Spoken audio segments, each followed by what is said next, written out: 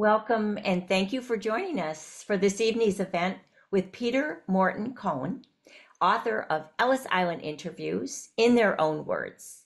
Tonight's program is brought to you by Save Ellis Island, the nonprofit partner of the National Park Service for the restoration and reuse of the historic buildings on Ellis Island's south side. My name is Lorie Conway. I'm the author of the Forgotten Ellis film and book. Tonight, I have the pleasure of speaking with Peter Morton Coan. If you have questions for Peter, the author of this wonderful, beautiful book, please type them in the chat. Welcome, Peter. Thank you. you coming from South Carolina. Is that where you are right now, Peter? That's where I am. Okay, and I'm in Boston. Uh, so, Peter, the book is so wonderful. I remember reading it years ago when I was producing uh, Forgotten Ellis Island. And mm-hmm. the voices became alive to me. They brought the story of Ellis mm. into my mm. heart as as mm. somebody, a grandchild who of three of four grandparents who came through mm. Ellis. So where did the idea of your book come from? And what was uh, what was the goal of the book?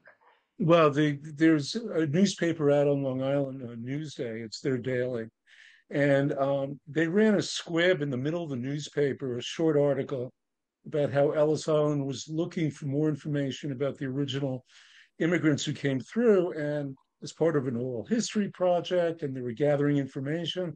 And, and I said to myself, has anybody bothered to speak with these immigrants? Has anybody bothered to interview them?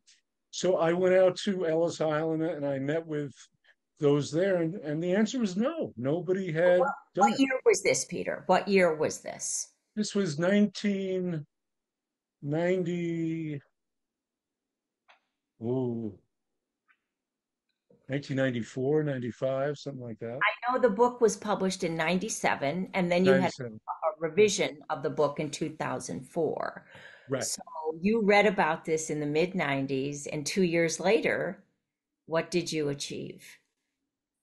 Well, then I got a list of the best stories. So, in other words, I went to uh, Barry Moreno, who was the chief librarian, and he he said to me, "These are the best stories." And I was looking for stories that were representative of the culture. So, whatever the culture was, whether it was Irish or German or Italian, that the stories not be duplicated, but they be representative of that culture. And so he told me, he gave me the contact information on all, all, all of those people. And then I went after them, you know. So, how many did you interview and how many are still alive today? 741 were interviewed. By you? 141 made the book. Oh. None are alive today. Oh, so you truly did capture their stories before they were lost. Yes, truly. I mean, the last one was Isabel Belarsky. She's on page 267. She was one of my she was one of my favorites, and um, she died at 101. Oh. And uh, last year, last April, actually. So she's been dead a year, and um, she was the last surviving original immigrant from the book. So, what did you discover, uh, Peter, through these voices and their stories? And we have one of those voices, one of your favorites, Manny Steen. Yes. Was 19 years old in 1925 when he emigrated right. Ellis through Ireland, uh, from Ireland. Uh, yeah. we could hear just a short clip of his audio interview with you, if you could play that, Karen. Right.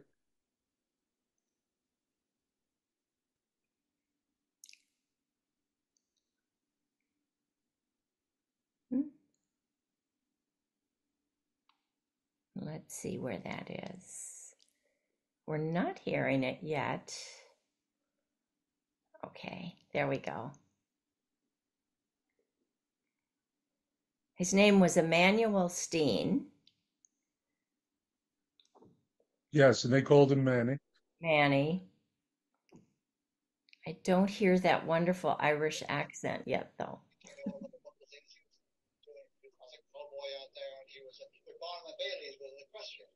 Could we bring that video audio up? Bear with us here. Yeah, Manny was one of your favorites, wasn't he? Because of that. Yeah. I mean, Manny Steen is the classic. If I had to choose one story Yeah. from my book, it would be Manny's story about coming to his America. His brother was already here. He left Ireland when he, he was 19. Now we've got him. Okay, Oh, thank you. great. Let's hear Great. him. if you ask me, cowboys and Indians, what do we know about them? It'd be how little we knew, especially then. Now, perhaps more, but then. Yeah, I was going to ask you, what were your expectations? What did you expect? Well, you it think- be like? Somehow, cowboys and Indians, uh, and uh, the streets were paved with gold. Not actually paved with gold, but we know that you could win. You could do terrific over here. You only had the good news, you understand? And uh, Were you getting good reports from your brothers and sisters who were here? Well, they they weren't telling me how well they were doing. They were, but they were making what what, what they were making here, which was property Yes. wages, was big wages for Ireland. Let's just get Remember, a bank manager. When I lived in Dublin, the bank manager was getting twenty dollars a week, Mm. and that's considered. And here, you say, I raised my boy to be president, right?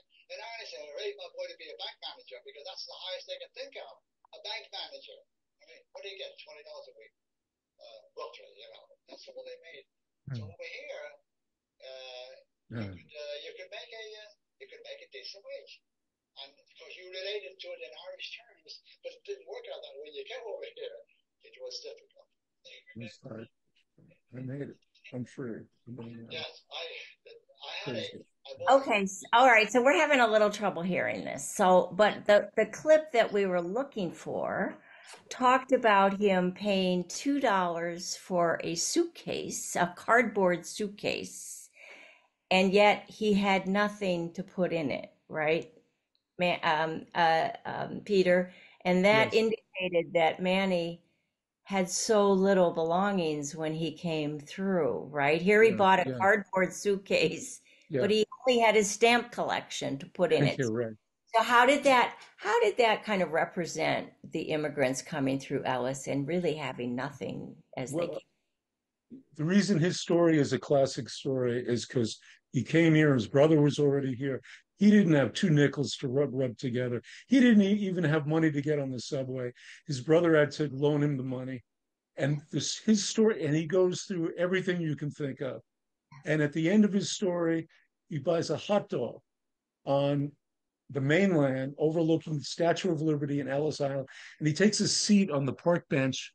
And the only thing he's thinking is, I'm free. I made it to America. I'm here. With hot dog in hand, what could be more American, right? Right. Right. It's just the classic story, you know, and and uh, and his line that I'll always take from his interview is he, he said to me, I said, How did you do that? You went through hell. You went through he said, Peter, when you're 19 years old, you can you can do a lot. You can go through a lot. Indeed. Yeah. So I thought the organization of your book, um, Yeah. you know, uh, this is called the Ellis Island Interviews in their own words for those who Sure. would like to purchase the book. It's on Amazon. It's just a, a beautiful read. Um, so you you. organized it according to ethnic groups. Why Right. did you do that? And what did the different groups have in common or set what set them apart, if anything? uh, as you Um, were doing all of these different interviews, 700 and some interviews. Yeah, um, the all of the ethnic groups got their own chapter, except for Italy. They got two. They uh, for Northern Italian and Southern Italian. There were just it was one of the largest groups. Them and the Germans and the Irish.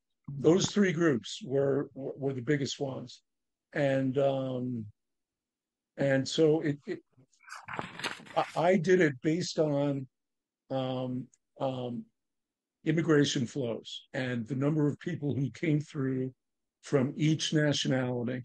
Um, that's how I organized the chapters, basically.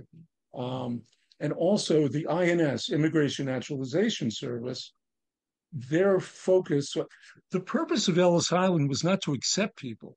The purpose of Ellis Island was to filter and um, eliminate undesirables, not have undesirables come to the United States.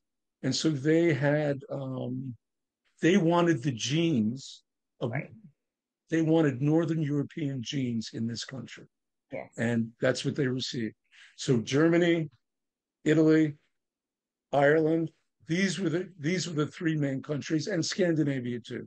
The, The, the the preferred though were the white, blue-eyed, right, from Yes. from the Scandinavian countries. right, right, Yet right. the Italians prevailed. That that was the largest ethnic group to come mm-hmm. through. Correct. Oh, big time, big time. Yeah, yeah. And and so, did you find there were differences, or what did you find was the underlying similarity that all these different ethnic groups had in their goal to reach America?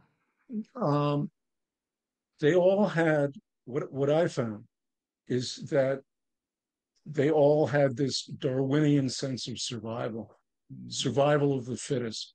It didn't matter what their background was. It didn't matter what their genealogy was. These people wanted freedom. They wanted a home. They wanted a new beginning. They wanted a new life. And um, and uh, the beauty of them is that despite their pain and despite their struggle, they play by the book. I mean, they more, I mean, when you look at what's going on on a southern border now with the migrants, I mean, the original Europeans who came to this country, they played by the rules.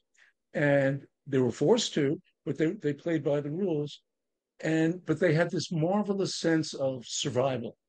Um, and that's what stands out more than anything. Well, like the border immigrants today, they also were fleeing discrimination and murder, mass Right. murder, and Right. poverty and anti-Semitism.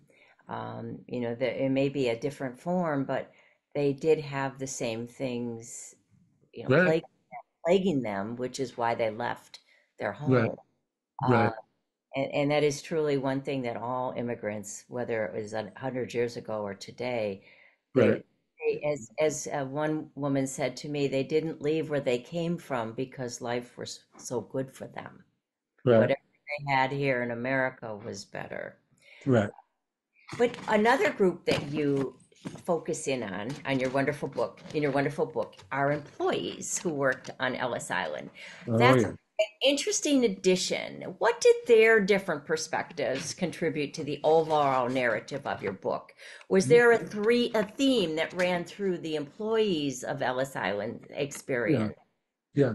I mean, they were they were on the receiving end of this vast mass of humanity, and all different types of people, all different types of cultures, and um, they had to be very tight as a unit to to survive. Um, I remember one of the INS uh, officers saying to me, "Well, I said to him, well, so what are some of the nationalities that you were looking out for?" And he said, "Well." we're looking out for all of them, but basically, uh, the Chinese, he said, you got to be careful with them. I said, why? He said, they're, they're good people. They work hard. They're family oriented, but they tend to gamble and they tend to take chances and they drink too much. And they, you know, so we kept an eye on them. it Um, sounds like so- something they said about the Irish though as well. My yeah, right. yeah, right.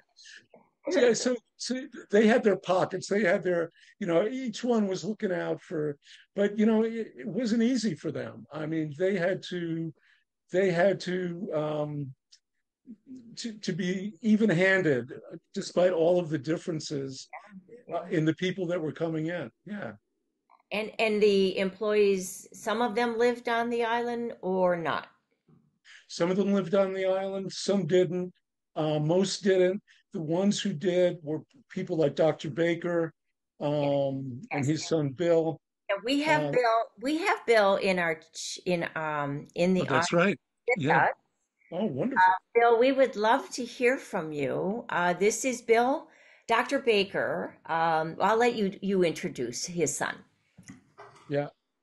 Peter, you t- you tell us who Dr. Baker was and Yeah, Bill is. We have a photo of him as well. yeah, yeah. Dr. Baker. Um, I interviewed Dr. Baker in uh, Florida.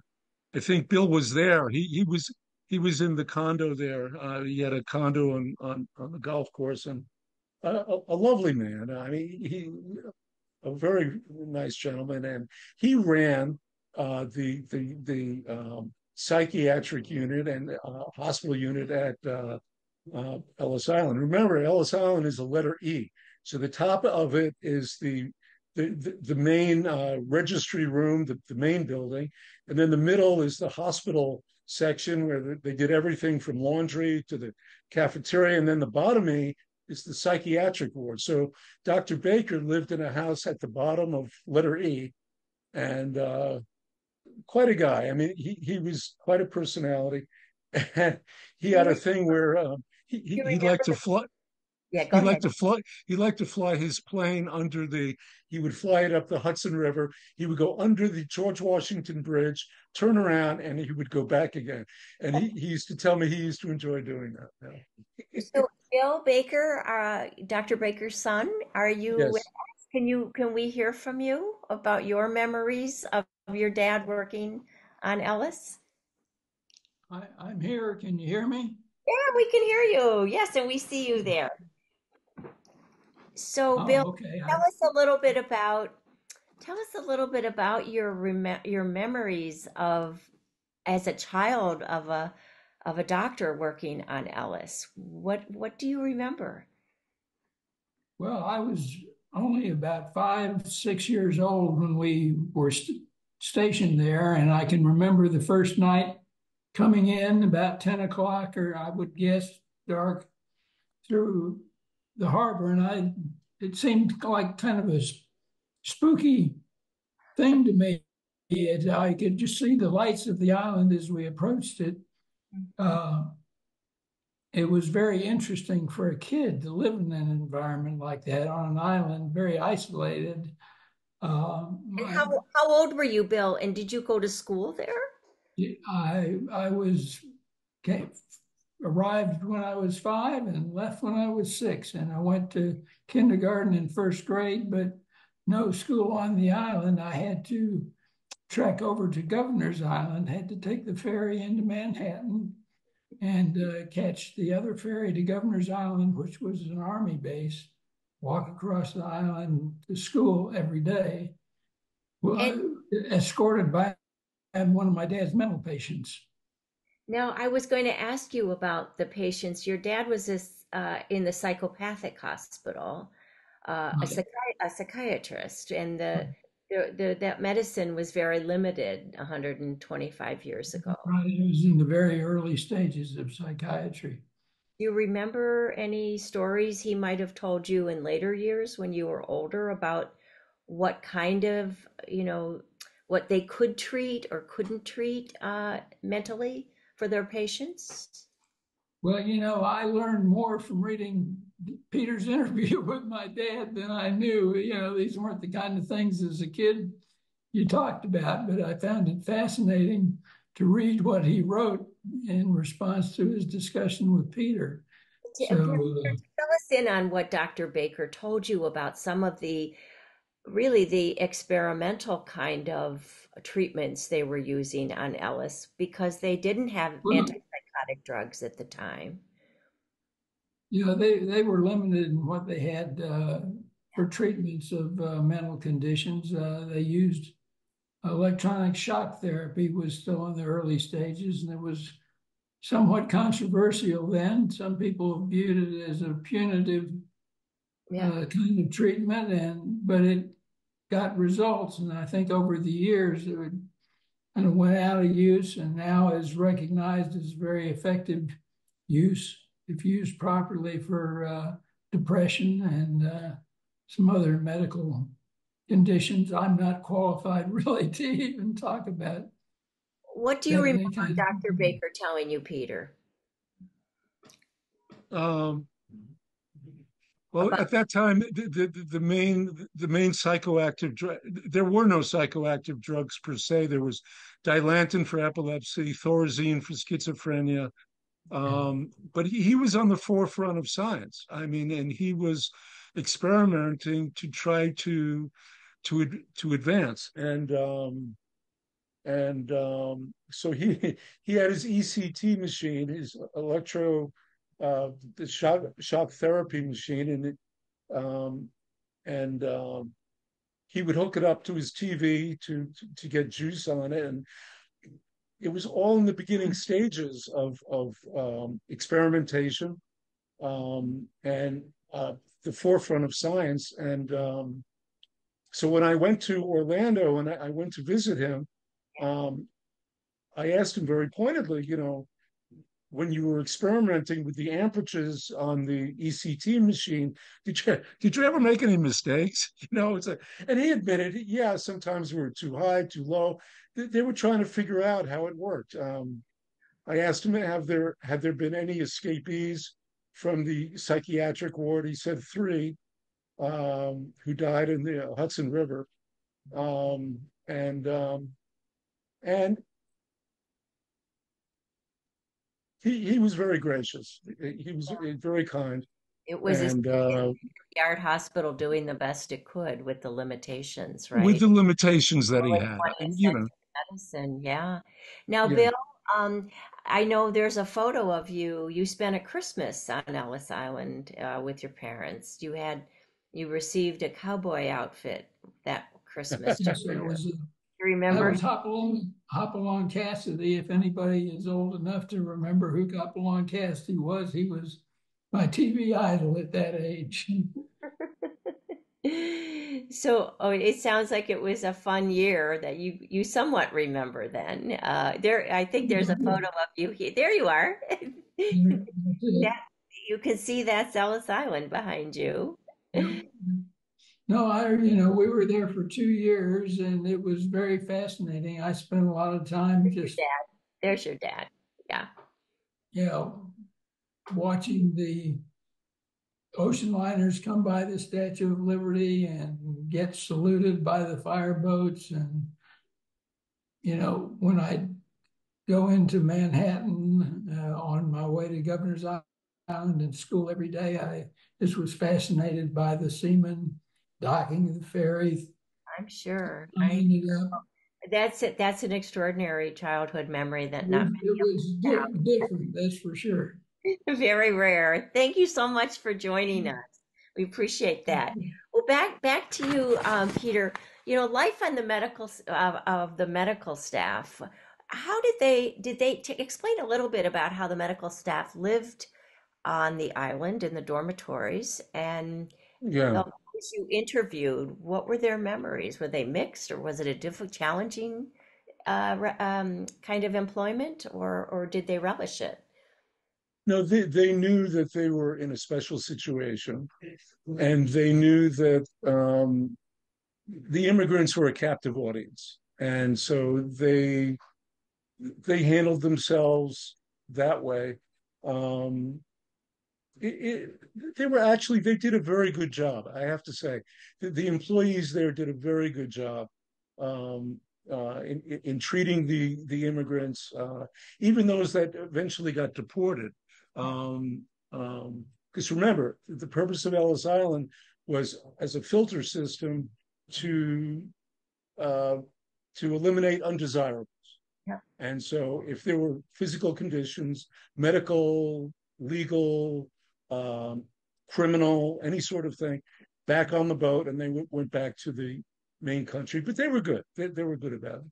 Overall, I mean, less than 2% were Yeah. deported from Ellis. So that really speaks to an overall percentage being accepted. We have a question, we have a um, remark here.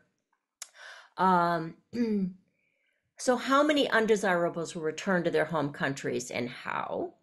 So, less than 2%. So, and Yeah. you, you might want to talk a little bit about the special inquiry hearings and how the steamships had to pay the fare back to the country. yeah, yeah, yeah, yeah. yeah. So it, it, it became, I mean, they were not looking per se to to send people back because they knew of the sacrifice it took to come here. They tried to cut all the slack that they could. They weren't tough in that sense. So even though it was a filter system, um, they didn't they didn't go by the book strongly in that way. Um, they had compassion. They had compassion. benefit of the doubt, right? Yeah, right, right, right, right. And and we have another comment. What a lovely collection of narratives, Peter. In your book, I saw that my grandmother came over on the same ship as one of your interviewees from Sicily, the San Giuseppe, Giuseppe Verdi. She had to endure the hospitalization process of her mother and was seen for three days as an undesirable Sicilian trapped on Ellis Island until cleared. I am Mhm. very proud of this heritage, she writes, resilience and absolute belief in the American dream. Peter, what an impactful contribution you have made to the body of literature that captures the triumph and the hardship of the immigrant experience. Thank you for giving two chapters to my MY capitalized people, Uh, particularly Southern Italians who were considered the lowest rung of immigrants.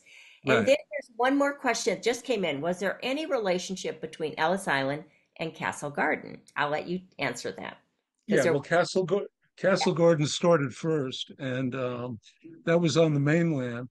And the reason for Castle Garden was that was sort of like the original Ellis Island, and it, um, um, when the immigrants would get off the boat, they would be attacked virtually by every two-bit hustler uh, trying to making promises of jobs and, and money and sex and you name it. I, and they were literally being attacked. And that was the reason to move off land uh, uh, to the island, to Ellis Island, and to try to have the immigration process be there and not on the mainland. And so it moved from Castle uh, uh, Castle Garden to Ellis Island. And And, uh, and and I was going to say, Peter, you when you were interviewing people, you interviewed over 700 people within a two-year time period. These Yeah. were all relatives or survivors themselves, right. right? Um, h- how long were the interviews, and for the most part, where did you where did you conduct them?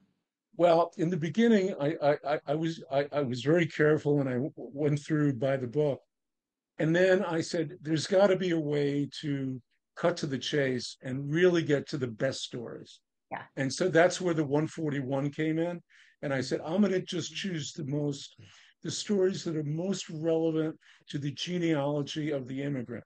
So it's most representative of. So if it's Irish, if it's Italian, if it's Scandinavian, if it's German. So if you're an immigrant from one of those genealogies, this was representative of your time period, of what you went through. So if you're a reader reading the book, this is what my grandfather or grandmother probably endured or went through.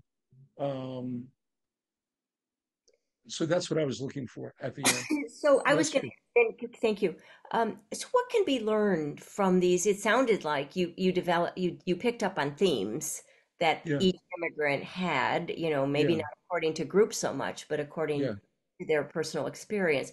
What can be learned from these experiences, both from then and today, as we look forward? Excuse me. excuse me. Um, you know, to the mass migration that is again again happening throughout the world, not just to the United Right, right. The most important, the, the thing I, I think I, I, I learned was that despite the uh, genealogy of the immigrant, um, these people had an intestinal fortitude. Um, they, I say, are, a Darwinian survival of the fittest uh, countenance in their in their character, in their they were strong. They were strong. They might have been poor. They maybe they didn't understand English, but they were determined to be free. They were determined to find a new home. They were determined to find work. Um, and I'll give you an example. I mean, you had people in Europe who were who were very successful there. I like uh, uh, Isabel Belarsky's father, Sidor. He was the head of the Moscow Symphony, and he comes to this country, and you know he's they were going to give him a, a broom to, to, to clean the streets. You know, he had to start at the bottom of the totem pole to work his way up, right? And even though he had done all this incredible stuff in Europe, you get to this country and it's a level playing field, and um, and that's why the immigrants had this fortitude because there's no other way to survive. So whether you were successful in Europe or not successful, whether you were old or young, everybody came here and everybody was on the same page, on the same uh, level, uh, basically. Yeah. We have another question from the chat box. Um, how did the dynamic change when people started arriving by airplanes? That's a good question. Yeah, well, that was in the 50s, and um, it, it didn't change that much. It didn't change that much. The the airplane did not really add to the um, immigration uh, as much as the boat did, and uh, so that wasn't a factor. Now, of course, all of that is a factor, um, but uh, not at that time. Yeah.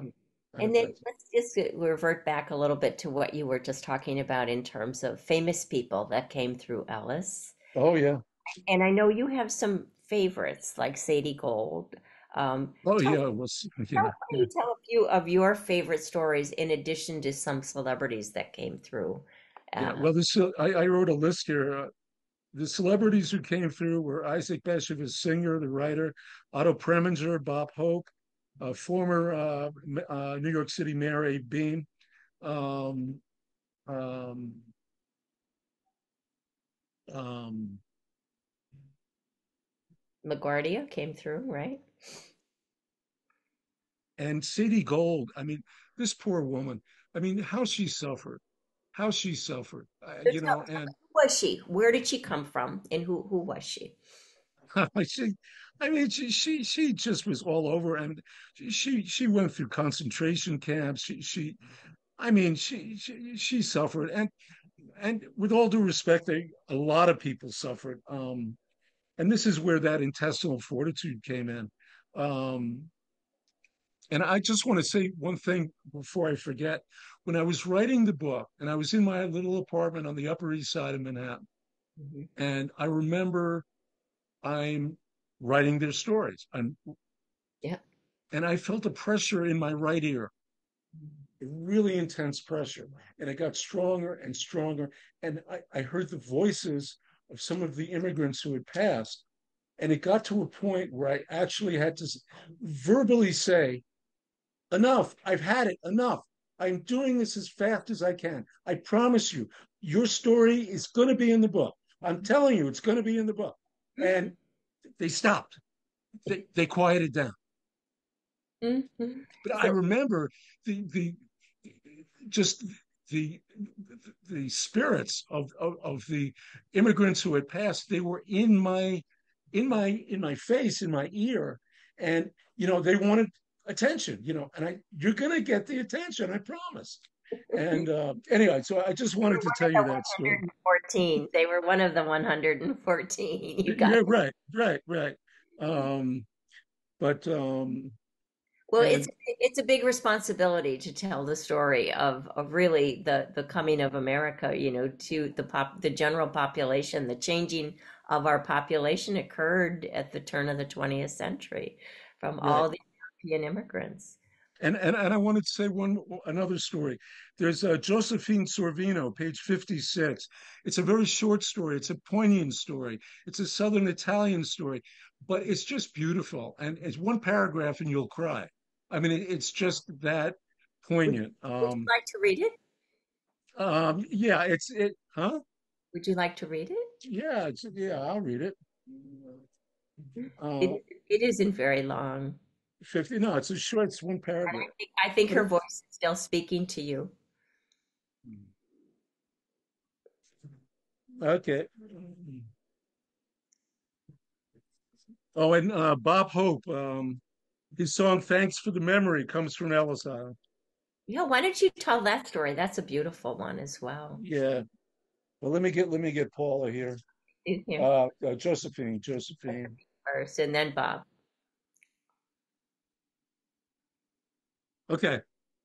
Um, she was born in southern Italy in the farming village of Camparne near Calabria. Her first name was changed to Sunday at Ellis Island because she arrived on a Sunday. She has two children, two grandchildren, um, et cetera, et cetera, but she has since passed. Her story is, in her in her own words, I had one brother. He was almost five years old when he came here. At the time, it was just my mother, my brother, and I. My father was already here. He came here first in 1921. He had not seen my my brother, his son, until we came here in 1932. I had a great grandmother who lived um, two doors away from us. She and I were constantly together. We used to take walks uh, to her land. Um, she owned beautiful uh, piece of land that was uh, shaped. Um, it had olive trees and it was surrounded by hills and mountains. During the evening, she came over to the house and we sat by the fireplace and she told me so many stories, so many fairy tales. I remember well, she told me about uh, Cinderella. She Cinderella. She told me about uh, Moses. Uh, but one thing I do remember um, is when we left Italy a few days before, she and I took a walk in her land, and she was very, very, very sad. She said, Ah, she said, you're going to America. Now, someday you will remember me. But she said, remember, when you get there, when you reach the battery, there is a row of fountains there. But do not drink out of it, because if you drink from that, the fountain, you're, you're going to forget all about us, like it had some mystical properties. So when I arrived at the battery, I was looking, final paragraph. So when I arrived at the battery, I was looking for the for the row of fountains, but I didn't see the row of fountains. So I thought, I guess it must be okay. She also wanted me to write and tell her about the Brooklyn Bridge because she had heard about the Brooklyn Bridge, but she had died before I saw the Brooklyn Bridge. Today, when I'm driving along, many, many times I think of her. The words echo in my memory. You're going to America now. Someday you will remember me. Oh, oh, Peter, that's so beautiful. I can hear that her voice is still in your heart for sure. Yeah. What a lovely, lovely story. Which, you know, um, brings me to the question that when I was reading the book, I thought, there's a theatrical production in this somewhere. Or have you ever been approached to do any kind of a like a musical performance or a spoken Yes. word? Because About it, 20, about 25 years ago, they want, I, I was approached to do a uh, Ellis Island a Broadway musical. Um, and, uh, and it got hot for a while. There was some serious conversation about it. Um, didn't transpire, but I'll tell you what did transpire. There's a little high, uh, junior high school in Pulaski, Virginia, right on the West Virginia border. Mhm. And the teacher there contacted my agent about 25 years ago and said, Look, we love uh, Mr. Coan's book, and we'd like our students in, in the class to take the role of uh, one of the immigrants. You know, each student takes an immigrant, and we want to do a play. And um, long story short, they've been doing the play now over 26 years with the same teacher oh, and they won the state one year they won the state championship in virginia and another year they were invited to edinburgh scotland for the international festival and they won representing the united states oh, how's that's that fantastic. Oh, what a wonderful testimony to the your beautiful work. You know, um, so let's see. We, we have got another uh, question here. So wonderful to hear and see both of you. Your books were valuable resources for me when writing my book, Ellis Angel. So I want to to shout out a big thank you for your work. There you go. This is from Carol Lamada. Oh, Uh, yes, who is a friend of Save Ellis Island and and has Mm. and is working on some wonderful works herself about the Mm. island. Um, does anybody else have anything uh, else to ask Peter? Or um, certainly, you know, when you look back, Peter, um, you know, is there anything you would have changed? Uh, you know, I, I think of that when I look at my film and book, and you know, I think we do our best with what we have at the time producing these things, right? Um, Mm. but it, you know, there are certain things I would do a little differently, or if I'd had more of this or that. Do you have any Right. of those, you know, those those impulses that you know just say, "Oh, if only I would have," you know. Oh, and then oh, Um, somebody just said then the Bob Hope story, please, too. Oh, the Bob Hope story. Uh, no, I went. I went with the energy flow. I, I just went where where it, it felt right. yeah, Yeah. Um, and I just wanted to um, two great, two really, uh, really great stories. Um, and I think I mentioned this to you. There were two women, and they were at the Bergen-Belsen uh, concentration camp. oh goodness, And there was a woman at, at who would take raw metal and put it down a tube into a furnace.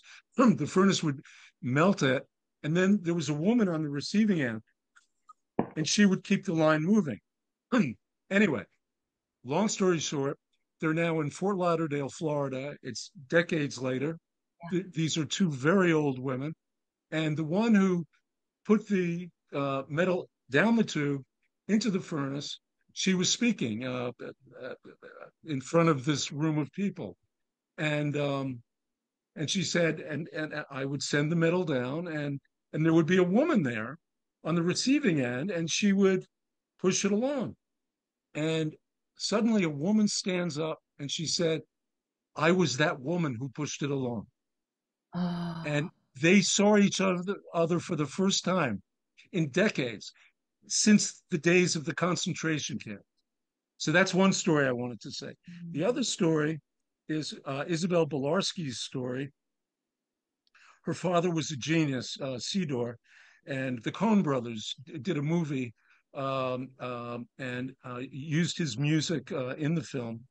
Anyway, Isabel tells a story of being in, uh, um, ironically, Ukraine, and um, Russian soldiers came in, and her father, Sidor, was he was a Yiddish opera singer, and um, he was on the radio. So she was listening to her father on the radio, and she started crying. Uh, She passed last year, by the way. She was she lived the longest of all the immigrants in my book, and she was she was raped by the Russian soldier, and she was describing to me the pain of being raped by anyone, by uh, by a Russian soldier, while listening to her father's music on the radio.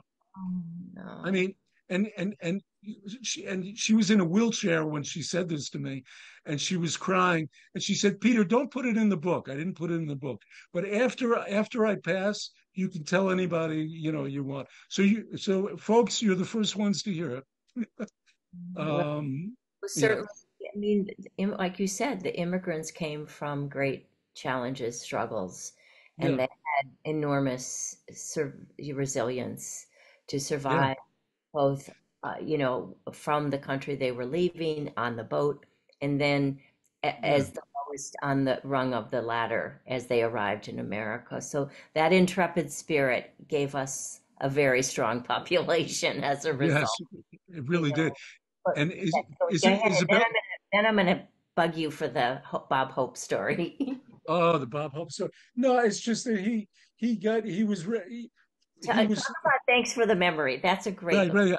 He he he was down in Lower Manhattan. He had done a show, and uh, and uh, he was on the mainland, you know, not on the island, but he was looking at Ellis Island, Statue of Liberty, and he was telling me that um, this is where it all came from, and he got all misty eyed, and he came here from England when he was about eight years old, and um, um, and now he, he so grateful to this country um, that he, he he was able to achieve what he achieved uh, despite despite all the stuff he went through. And you have to remember, even the famous people, they went through hell too. I mean, they went through terrible times. And And, and somebody's asking after your interviews, did you maintain a relationship with any of the immigrants? oh yes, for sure. Yeah. Oh yeah, uh, Hope until he died. Um, uh, and Isabel, um, when I did book signings in Manhattan, uh, and uh, through the eastern part of the country because she couldn't travel very Yeah. much, I would bring her with me to the book signings, and I would say, "Folks, you don't need to talk to me. If you've got questions, talk to Isabel. Isabel, take the stage. Come on up, answer the questions. You know." And and we had like a dog and pony show. I bet she loved it. I bet she just loved Yeah. it. Oh, she, she she was special. She she was she was really special. Yeah. And how if someone else writes, how did the immigrant experience change from the early to the later years? If you could give a little perspective, if you felt like that did change. Well, in in the early years, it was um, it, it was everything we think of. It was it was Mott Street, it was Lower Manhattan, it was the Jewish settlement, it was the Italian section, it, it was all of the cliched images that we know. But in the 1920s, they started the quota system, Right. um, and then then it changed. Then it changed, and the flows started coming down. So the, so 1892, uh, Ellis Island opened its doors, and then very intense to 1924. Then the quotas came in, and then it slowed down, slowed down, slowed down. By the early 30s, e- everything was not the same anymore. It was It that was trickle. not the same. It was a Right. trickle. Yeah, yeah, yeah. Right. Uh, and, and yet, And then Ellis Ellis Island closed its doors in March 1955, and um, now yeah. did you did you ever meet any of the immigrants you interviewed out on the island? Did you take them back there? Did any did I what? Did I? did you take any of the immigrants you interviewed out to the island? Oh yeah, sure, yeah. And Well, I went. Yeah, what was their reaction when you would take them out? they would cry. They would start crying. Yeah, yeah. Yeah. It was almost as if they became little children again, right? Yeah, yeah. and it- Yeah, because when they came here, they they were very young. Yeah, mm-hmm. Yeah, yeah. yeah. They would start crying, and I had to, con- you know, I consoled them. Yeah, of course. Now, does anybody have any other things that they would like to ask Peter? Please let me know. I'm happy. We have a few more minutes here before we need to wrap this up. It's been wonderful to hear these stories, Peter. Uh, it's such a Thank gift. you. The book is a wonderful gift to the, re- the whole repository, the portfolio of Mm. Ellis Island material. Really important contribution. We here we Mm. have. Okay, so my grandmother acted the same way when we Mm. took her to see her name on the wall, of course. Mm. Well done. Yeah. Yes, and Yes. and this, this someone writes that. Um, certainly, the wall has become the more modern, um, Right. you know, right. shrine to the Right. right? Um, and um, you know, post COVID, the numbers are back up in the millions of people coming to the island. And, Right. Right. Right. I mean, Um, close as we have to an American shrine in you know in the country. I yeah. Um, yeah. Uh, um, I was going to say, and also there's a train station on the mainland, Mhm. uh, not far from Ellis Island. It has about 20 bays in it. And so when the immigrants would come in, those, let's say, the Irish went to Boston, the Jews went to New York, the Italians, for the most part, went to New York. But the, like the Scandinavians, they got on the train and they were headed to the Midwest, northern Mis- Midwest. Mhm. And Yeah. so, um, and they had orphan trains. They had they had kids who who lost their parents. They they didn't have parents, and th- but but they had to live. They needed jobs, and so they, they were put on these orphan trains, and they were sent to the Midwest, and they worked in factories uh, in the middle of nowhere in Minnesota and Montana, and and um, and and so the background of each immigrant, they tended to form enclaves in areas that were similar to their uh, uh, uh, to to their the t- topography of the land Home back in Europe, wherever they came from. So, so the Scandinavians went to colder climates, let's say. right? To Um, Minnesota bo- right. Yeah. Um, but if you go there, it's it's very it's very uh, touching because um, they don't they don't use that anymore. It, it's almost a museum now. It, it's it's uh, Now, is that on the New Jersey side? Uh, it's on the New, on, on the New Jersey side on the mainland. Yeah. is, is it open for uh, Ye- yes. Yes. Yes. And I would suggest that anybody who wants to go to Ellis Island also go to goes to that train station yeah, because that's a great idea. Yeah. because the immigrants were put on on those trains and they were sent west And so not everybody went to Boston. Not, you know, not everybody went to New York. you know? Right? The big Right. cities. Now we have two more questions. Were efforts made to accept different religious groups within countries? It would seem tricky if everything was based on a country by country basis. um, religious groups were not were not a point of contention. Um, a point of contention was criminal, legal, medical. Did you have glaucoma in your eye? Yeah. Uh, in your eyes? Um, those were more tangible reasons for uh, rejection, not religious. No. Could you be a public charge, right? If you, Oh, right. They didn't want you to be a public charge. Yeah. Right. Well, well, this is what the INS soldiers were, uh, not soldiers, uh, uh, uh, wor- workers, when they were watching the Chinese, Chinese had a wonderful little system. Um, there was a guy who would give you 20, you had to come through with money. And so 20 bucks got you to America at one point. And so he would give somebody the 20 bucks. You give me $2 and I'll give you 20. He, he stands in line. He shows the INS agent the 20. He goes through. The guy gets his two bucks and his $20 back, gives it to the next guy. And so he had like this little side business going on. I mean, it's like, so Ellis Island eh, had all of these um, things happening simultaneously. Nothing bad, right? nothing bad. But, Really, the ingenuity of the immigrant had to be pretty high, right? Right. Sur- That's why I say survival of the fittest, right? So we have a few more questions, then we'll wrap it up. Do you think an Ellis Island could ever be built in today's world?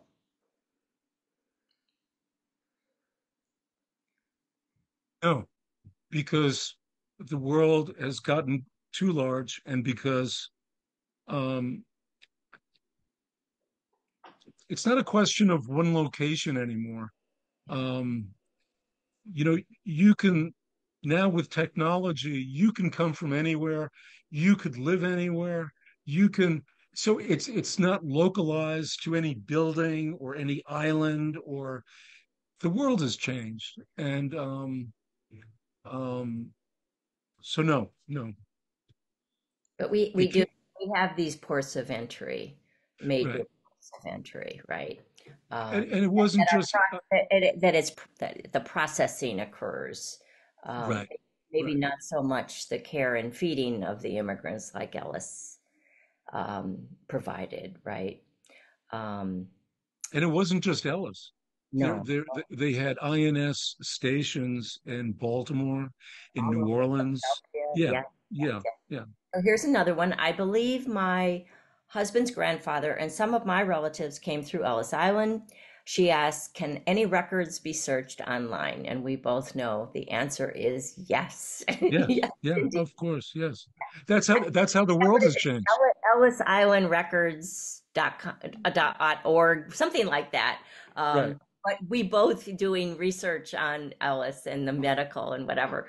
We used heavily online resources. Right, right. and even right. more in the 10 years since I did it, 15 years since I did, and you did it before, much more is digitized. Um, right. uh, let's see. Oh, last one. Name of the train station, Central Railroad of New Jersey. Oh, here we go.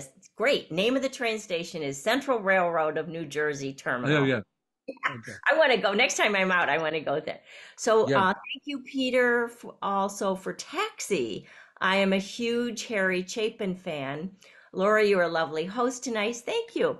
Uh, your book and film truly gave light to forgotten history, such a profound validation of my ancestral ancestral narrative. Thank you very much for that. And then Brian Scanlon, link for the records. Here it is heritage.statueofliberty.org. Thank you, Brian. So I think um, if we don't have any more questions, it is almost it's 757. Hmm. We should wrap it up here. Uh, on behalf of everyone at Save Ellis Island, thank you, Peter, for participating in this wonderful My pleasure. My event. pleasure. Uh, visit visit Save Ellis Island's website To find out about upcoming virtual events and special tours on May 4th, Jennifer Arnoldi with Mills plus Schnoering LLC will lead the architectural tour. Uh, and on, let's see, uh, and on June 22nd, we have our second nursing program of the year. So save Ellis, Ellis Island Records.org, or save Ellis Island.org for details on these events and more. You'll hope we hope you'll join us for our next author series virtual event on May 14th with Wendy Chin Tanner for a discussion of her book King of the Armadillos. She'll be in conversation with Maria Smilios, uh, author of The Black Angels, the untold story of the nurses who helped cure tuberculosis. Ah, So visit Save Ellis Island's website to become a member, learn more about the restoration work being done and ways you can donate to help save this national icon Mhm. and preserve our history for future generations. Visit uh, Save Ellis Island's website to renew your rem- membership or join as a member. And to show our appreciation for a donation of $35 or more, we will send you a Save Ellis Island notebook and a pen set. So thank you Mm. All of you for joining us. It was a Mm. pleasure. And we Mm. will see you all again, I hope. And Peter, all the best to you. Uh, I thank you. And I- to you. yeah, take care. Good night, all. Okay. Good night.